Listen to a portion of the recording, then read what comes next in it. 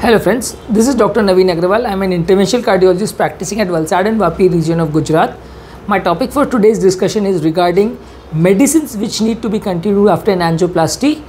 Uh, there are a lot of issues pertaining to the medicines which people need to continue after an angioplasty and people have a lot of queries which medicines to continue what exactly is the purpose of the medicine why do we need to continue medicines how long do we continue uh, need to continue medicines lot of queries come into the mind of people and a lot of things they have uh, to ask us. In this video i'll be answering majority of these questions. Still if it, uh, you do have some question queries you are free to ask. But i'll try to answer majority of the questions which are routinely asked to us during the course of our routine consultations. The people who are new to my channel i would request them to subscribe to my channel as this gives us a lot of motivation and inspiration to continue the good work as we are doing now. Uh, I would request you to see the video till then because it will contain almost every answer to all the questions which people have regarding medicines pertaining to angioplasty, post angioplasty period. What are the purposes of the medicine and what exactly is the benefit of these medicines? Coming back to the topic, uh, my topic for today is regarding what is the purpose of medicines after angioplasty. Basically, in one sentence, if I need to answer it, the purpose is to continue the proper functioning of the stents and prevent the reblockage of the stents, prevent the patient from having a reinfarction or a repeat uh, event of stent thrombosis or stent restenosis or any similar issues in future. That is the basic purpose of the medicines. Besides this, we also need to control all the risk factors be it blood pressure, sugar, cholesterols or whatever risk factor the patient has, obesity or whatever the risk factor is there in the patient, that risk factor also needs to be continued. So that is the basic purpose of the medicines to continue the functioning of the stent and to control the risk factors. Usually in the control of the risk factors, especially in that of blood sugar levels, we are lenient in the first few days of an angioplasty. The reason being uh, initially the blood sugar levels continue to fluctuate a lot. As soon as the patient comes to us with an acute heart attack because of catecholamine surge, the blood sugar levels tend to shoot up. And this blood uh, sugar levels is dependent on the pain which the patient is experience, experiencing. By the next day or after one or two days, the sugar levels start to become normal and if at all we target a very aggressive blood sugar levels in this course of time then there is very high chances that when the uh, patient comes back to his normal life starts doing his activities because in the hospital the patient was not doing any activity so once the person starts doing his routine activities and comes back to his normal life and his normal food stuff, then the sugar levels will tend to suddenly fall. So if it overtreat the patient in this course of time, that can be detrimental to, to the patient and the patient might suddenly come back to the hospitals in an emergency situation with an episode of hypoglycemia with a very low blood sugar level. So that is why in the first few days if on the sugar levels is 100 to 150 or maybe even slightly on the higher side, uh, that also is acceptable. Although I, we do not usually mean that we want the blood sugar levels to go above 200 because that might also be detrimental for the patient. The risk of infections and problems might increase. But around anything around 100 to 150 is acceptable. Slightly on the high side is also acceptable.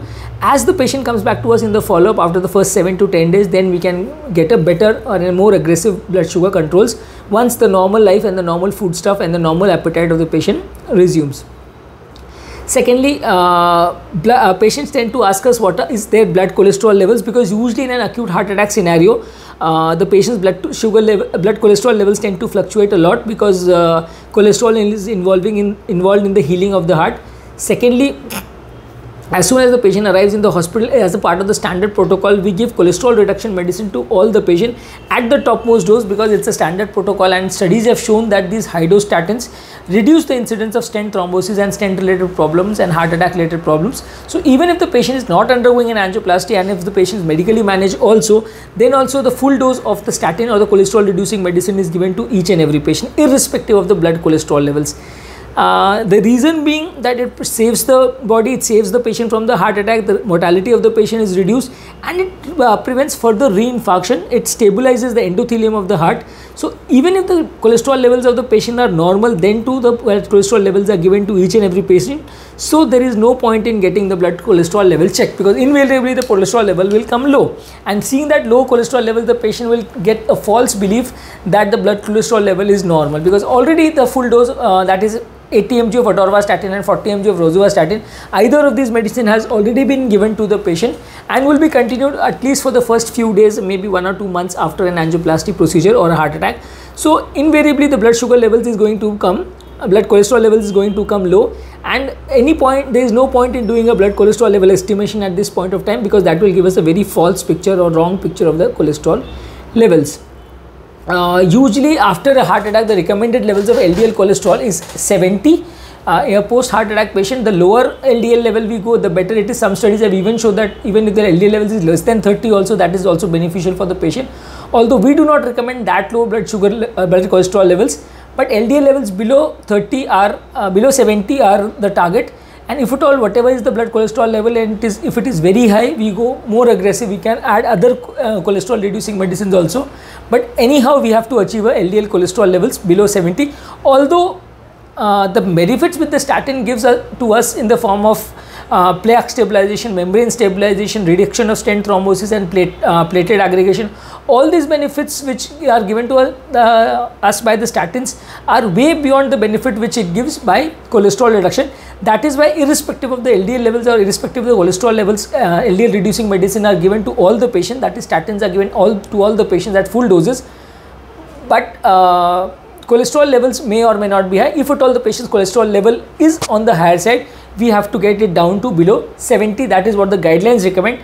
The lower the better is what the newer guidelines suggest although it is not confirmed by all the guidelines. Uh, some people ask her is it important for us to continue the medicine even if the patient is feeling normal?